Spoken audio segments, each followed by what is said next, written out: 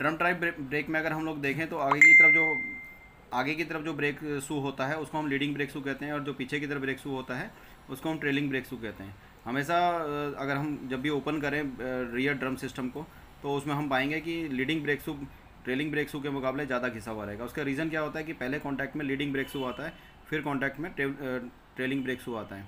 तो हम इंटरचेंज करके उस कंडीशन को रोक सकते हैं या रिप्लेस दे सकते हैं।